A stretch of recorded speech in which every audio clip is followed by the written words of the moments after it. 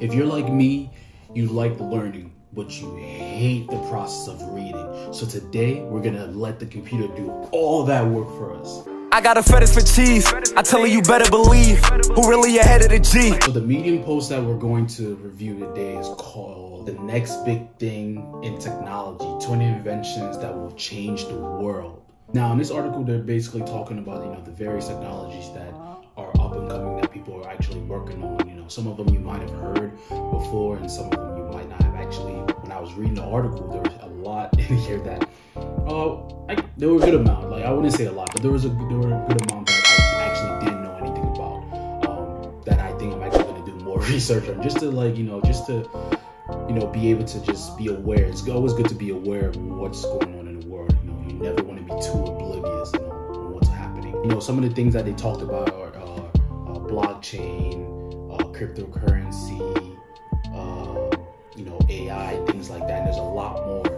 Um, and then they, they just talked about, you know, how it's gonna, you know, how it's going to, you know, change the world. You know, kind of, you know, the, the the roadblocks that they might have. And one of the things that I didn't actually know too much about was CRISPR, which is basically is a technology that allows you to modify DNA. So you can easily so you can easily modify the DNA sequence and alter the gene function, which I think is crazy. And in the reading as well, it could potentially help with treating genetic defects. When I was going through this going through this article, a lot of these things here, I, you know, it made me think. I was like, wow, like I remember when I was a kid and you used to watch these movies and things like that and uh like these you you know they would show a lot of these things but you know as a kid you never thought like oh like i mean i guess you you always like wonder what the future is like is gonna be like but to actually see that these like know people are actually working on these things actually trying to bring it in trying to bring it into fruition and another one that i didn't really know too much about actually i didn't know anything about was graphene so it's basically another byproduct of graphite. So apparently it's very strong, thin, and lightweight, and it also conducts electricity very well. Apparently this this uh, graphene, the application would be you know you know for space travel, for wearable wearable uh, electronics. Um, like so, I had I have no idea. Like I had no idea about this this this thing, this graphene thing. So I'm actually going to, you know, after this, I'm going to actually you know just read up a little bit more about it, just to you know familiar, familiarize myself with it. It's, it seems exciting. It seems exciting. But all in all, a lot of things that they mentioned in this article, you know, a lot of things that you should just be aware of. You know, to see to see what is actually out there, what people are working on, and you might you don't know, you might end up wanting to invest in it or something like that. So the next section now, you're basically just gonna you can just listen to listen to the article, um, and I'm gonna I'm gonna have it linked down below for you to guys that if you want to take the action to actually read it, um, you can go ahead as well. The next big thing in technology 20 inventions that will change the world. From 2022 to 2040 ish. Adrien Book Jewel 27, 20. I wrote an article titled I compiled a list of tech's next big things so you wouldn't have to in 2018. It has since been read over 50,000 times and shared more than 1,000 times on social media. As anyone reading it in the 2020s will notice, a lot of what was written then is now obsolete.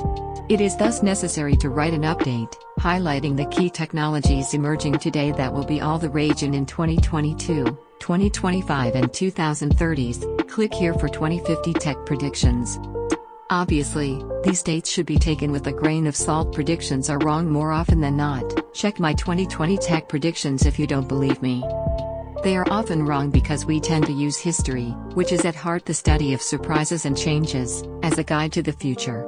This should, however, not stop us from aiming to better understand the future of technology. The knowledge gained through planning is crucial to the selection of appropriate actions as future events unfold. We don't know the answer, but we can at least ask useful questions and catalyze the conversation. The boring, expected stuff 2022 technologies. 1. Blockchain. By now, we've all heard about blockchain revolutionizing just about every industry imaginable. Banking, politics, healthcare. All could technically benefit from the creation of a decentralized digital ledger which tracks and stores information in various places, thus making forgery impossible. Identification is provided through complex calculations, making identity theft virtually impossible, too. There is, however, one word which stands out in the description above decentralized. Banks, governments, hospitals, These institutions don't want to see their power curtailed, unless on their own terms. As such, it is likely that we will see some advances in the blockchain space, but it will remain on the fringes of technology, missing the revolution predicted by its many fans. More on blockchain here, Investopedia. 2. Cryptocurrency. Often mentioned in the same breath as blockchain, cryptocurrencies use the principles explained above to facilitate the exchange of goods and services online, again in a decentralized fashion, which is one of its main appeals. Sounds fantastic, but there are two big issues with cryptocurrencies. Its key appeal, excluding illegal dealings, is that it's cool and trendy. It was never meant to sustain the attention it got in 2017, and will never recover from the crypto brothers' unrelenting idiocy. The technology works, there's just no mass market. Secondly, its value is very subjective, unlike gold, don't at me. Cryptocurrencies are always either in pre bubble or bubble territory, Add to that the decentralized aspect that governments and banks will seek to discredit, and you can be sure that it will continue to be a mere toy Chet keeps bringing up at frat parties, there's always a chant. More on cryptocurrency here, Investopedia. 3. Affective AI Affective computing. Artificial intelligence is already everywhere in 2020, it's just not as fun as we thought it'd be. If you've missed the AI train, it can be described as follows the increase in storage space, cloud, calculation capabilities, chips, and access to massive datasets, e-commerce. Social media has allowed companies to create statistical models on steroid which can evolve when fed new information. Affective AI would take this process one step further and apply it to emotions. Effectively, an algorithm could tell your mood from the way you look, by training a deep learning algorithm on facial data, the way you write, or the way you speak, and offer a product or service in accordance. Feeling happy? How about a Starbucks advert for a Frappuccino to keep the good times coming? Feeling down? How about a Starbucks advert for a frozen coffee to turn that frown upside down? Not to worry, though, this technology is famously unreliable. For now. More on artificial intelligence here, the pourquoi pas, and more on affective computing here, MIT. 4. AI Cloud Services Data as a Service AIPAS. Most great technologies aren't considered to be revolutionary until they reach the public en masse, forgive my French. This may be one of the reasons there's been so much disappointment in AI of late. Indeed, only major companies have been able to benefit from automating tasks that once required human input, while the petit peuple is forced to continue using comparatively medieval algorithms. This can in part be explained by a lack of computing power within individual households, but is mostly a data problem. This may not be the case for long. Companies are realizing that renting an algorithm gives the double benefit of generating extra revenue from an existing asset, while extracting more data from customers to feed the beast. As such, get ready to witness the rise of AI platforms and marketplaces, which will promise to provide algorithms that specifically match unique customer pain points. Chatbots and digital assistants are only the beginning. As steps get automated and join the gig economy, this movement is likely to expand exponentially. This would allow smaller companies, and even individuals, to optimize their day to day processes. If that seems harmful to our collective mental health, follow your instincts. More on AI as a service here, towards data science. 5.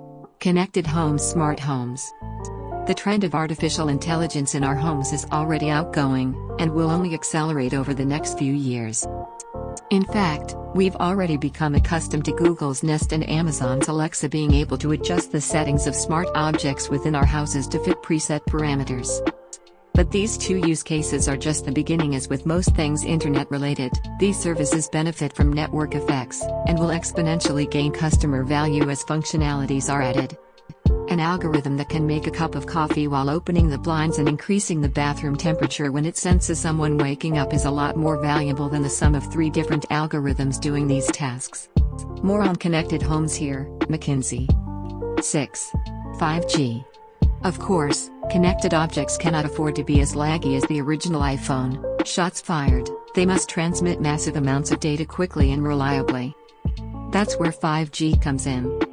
5G is the logical successor to 4G, and achieves much greater speeds thanks to higher frequency radio waves. Though this seems simple enough, A few terms have to be understood to fully capture the difficulty of implementing 5G throughout the world. Millimeter waves This refers to a specific part of the radio frequency spectrum between 24 GHz and 100 GHz, which have a very short wavelength. Not only is this section of the spectrum pretty much unused, but it can also transfer data incredibly fast, though its transfer distance is shorter. Microcells, femtocells, picocells small cell towers which act as relays within comparatively small areas such as large buildings. This infrastructure is necessary as highlighted above.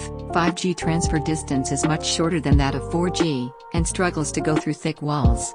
Massive MIMO the ability to transfer and receive much more data than when using 4 grams, from a wider variety of sources. Beamforming All these transfers need to be organized and choreographed. Beamforming does just that. Also, it sounds cool. Full duplex the ability to send and receive data at the same time, on the same wavelength.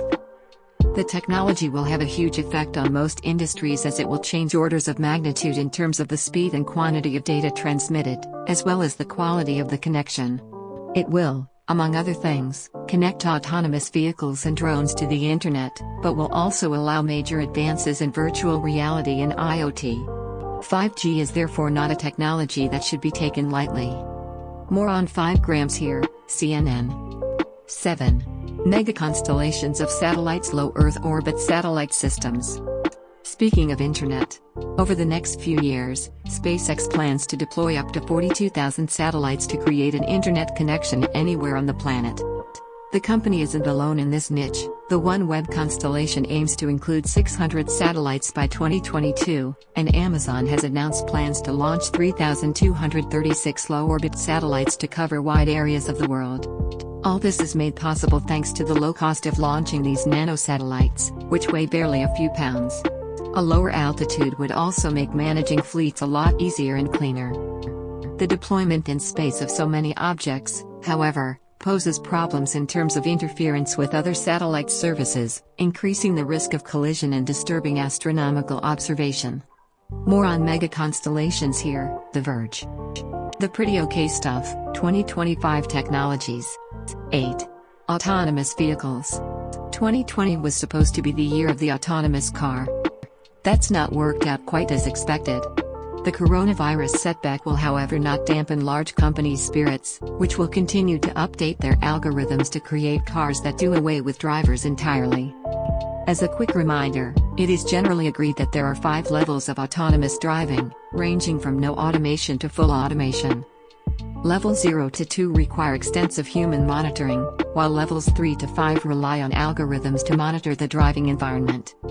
The most advanced autonomous cars on the market, Tesla, are currently straddling level 3 and 4. It is hoped that we can make the jump to level 5 and full driving automation by 2025, if not earlier. But the road ahead is long, as issues ranging from ethical dilemmas to statistical headaches still plague the industry. Even if level 5 is reached, it's likely that we will never truly replace the cars as we know it, but instead create special roads and spaces for autonomous cars, so that the two don't mix. Indeed, the car as we know it is so central to our daily lives that changing it may mean rebuilding most of our daily world parking would become less important, charging stations would change. The ways pedestrians interact with safer roads would be forever altered. More on autonomous vehicles here, Spectrum. 9. Quantum computing. First things first, scientists have been announcing the arrival of the quantum computer for over 50 years. But this time might be it. In October 2019, Google announced that it had achieved quantum supremacy, superiority of a quantum computer compared to a conventional computer on a particular task, by performing in 3 minutes a calculation. Which would require approximately 10,000 years on a conventional supercomputer. These figures were challenged by IBM, which estimates that a conventional computer program could have solved it in just 2.5 days. Quantum computers, where bits are replaced by bits with superimposable states, x is 0 can also be a 1 at the same time, are in theory much faster and more efficient than their older brothers. But tend to suffer from decoherence issues, loss of information. Nevertheless, developing them for pharmaceutical companies, for example, could theoretically lead to major breakthroughs in medicine creation. More interestingly, quantum computers could easily figure out encrypted blockchain passwords, making the whole thing irrelevant. Did I not say earlier that Bitcoin was doomed? More on quantum computing here, MIT Technology Review. You can also take a quantum computing class here, Community. 10. Genetic predictions. The raw computing power highlighted above can be used to analyze one's genome and predict one's chances of getting conditions such as heart disease or breast cancer. If that sounds exactly like the plot of Gattaca, trust your instincts. Regardless of the risks of genetic discrimination, DNA based predictions could be the next great public health leap. For example, if women at high risk for breast cancer got more mammograms and those at low risk got fewer, those exams might catch more real cancers and set off fewer false alarms, leading to a better treatment rate and lower insurance premia. It could also lead to the rise of personalized medicine, though the logistics of such a task would likely be a financial and logistical disaster given the current political climate, at least in the US. More on genetic predictions here, MIT Technology Review. 11. CRISPR. Even if a Gattaca-like future does come about from genetic predictions, we might still create a similar situation through straight-up genetic engineering. CRISPR, clustered regularly interspaced short palindromic repeats, allows researchers to easily alter DNA sequences and modify gene functions. Its many potential applications include correcting genetic defects, treating and preventing the spread of diseases and improving crops. Editing germs to make new viruses or a master race is however a less fun prospect, should this technology get into unethical hands. Either way, I look forward to a time when every man looks like a mix of Tom Hiddleston and Idris Elba. More on CRISPR here, Live Science. 12. Human augmentations enhancements. Thankfully, going genetic is not the answer to everything. Sometimes, some good old ingenuity in robotics is enough to solve our issues. Slowly but surely, we are seeing more and more natural, artificial, or technological alteration of the human body in order to enhance physical or mental capabilities, often in the form of bionic limbs. As we begin to better understand how the brain transmits information to the body, more and more companies will begin to see the value of improving people's life, for a steep fee, and descend upon this space. It's very likely that beyond the arms and legs augmentations that we're already starting to see, there will be a point at which the back and the eyes are also augmented. Then, slowly but surely, augmentations will become elective, with interesting ethical implications. If this is the future, I am way okay with it. More on human enhancements here, International Journal of Human Computer Studies. The very exciting stuff, 2030 Technologies. 13. Graphene. Though graphene has been overhyped for so many years, we're finally seeing something good come out of it. If you haven't paid attention to the hype, graphene is a byproduct of graphite, which is itself carbon's very close cousin. It is extremely strong, yet extremely thin, light and flexible, stronger than steel, thinner than paper. Oh, and it also conducts electricity really well. The applications are numerous, specifically for wearable electronics and space travel where resistance and weight is a key component. Nevertheless, it will take many years to get to a wide array of use cases we've built the world around silicon, and it's very hard to displace that kind of well-established, mature technology. More on graphene here, digital trends. 14. Edge Computing Intelligent Edge. While the vast majority of data processing for connected devices now happens in the cloud, constantly sending data back and forth can take far too long, as much as a few seconds, sometimes. 5G is a temporary answer, as mentioned above, but there might be a simpler solution allowing objects to process data on their own, at the edge of the ecosystem. This would unlock a wide variety of issues in manufacturing, transport, and healthcare, where split second decisions are key to a variety of process. Even fashion could benefit by creating self-sufficient smart wearables. As intelligent things proliferate, expect a shift from standalone intelligent objects to swarms of collaborative intelligent things. In this model, multiple devices would work together, either independently or with human input by grouping together their computing power. The leading edge of this area is being used by the military, which is studying the use of drone swarms to attack or defend military targets, but could likely go much further with hundreds of potential civilian uses. The technology is nearly available, but as with other developments both above and below, we must first let the hardware capabilities catch up before implementing these ideas. More on edge computing here, The Verge. 15. Microchips Biochips. The current main idea behind microchips, which are made from an array of molecular sensors on the chip surface that can analyze biological elements and chemicals, is for tracking biometrics in a medical context. It has also seen use cases emerge within the smart workspace technology ecosystem. It could however have a much wider appeal if customers decide to put their trust into it, such as banking, imagine never having to bring your wallet anywhere ever again. Unless everyone suddenly agrees to let their blood pressure be monitored daily at work, this type of tracking is likely to remain benign in the near future. One might nevertheless imagine them becoming fairly common in hospitals. More on microchips here, The Guardian. 16. Nanorobotics. For those wanting to go even smaller than microchips, allow me to introduce nanorobots. Currently in RAND phases in labs throughout the world, nanorobots are essentially very very tiny sensors with very limited processing power.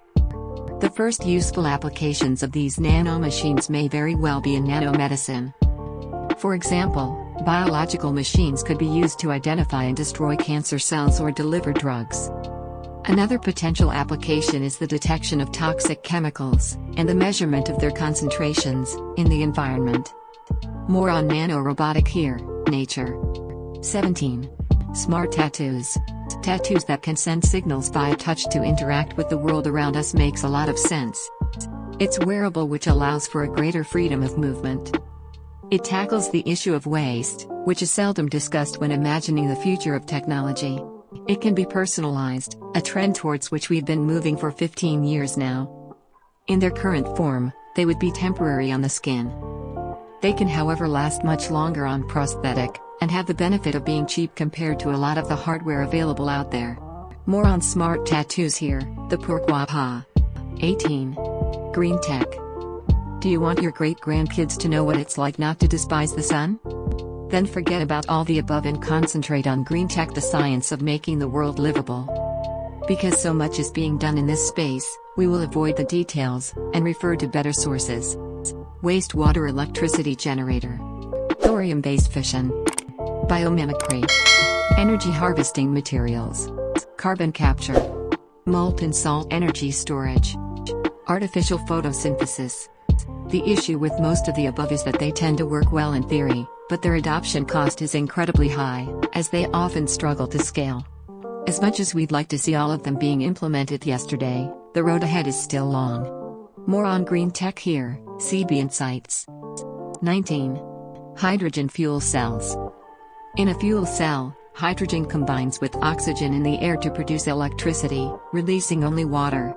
In itself, this isn't new, as this principle was discovered in 1839. Up until a few years ago, this idea was not profitable enough to allow for their large scale use. In fact, there are still some issues with the technology, as it's easy to store a small amount of energy, hence its use in the space exploration industry, but incredibly hard to do at a larger scale. See you in 2030 to see if we've solved these issues. More on hydrogen fuel cells here, Kia. 20. Meatless meat. I tried it lab made meat smells, looks and tastes just like meat, beyond the odd uncanny valley like taste. The only things that change healthier food, no antibiotics, no growth hormones, no emission of greenhouse gases and no animal suffering. Above all, this is a gigantic market that whets the appetites of industrialists. After targeting vegetarians, they've realized that it's much easier and rewarding to market these products to flexitarians. Back in my days, we called them omnivores. By 2030, 10% of the meat eaten in the world will no longer come from an animal, allegedly. The principle is there, the technology works. All that's left to see is if it will be widely adapted. More on meatless meat here, Vox.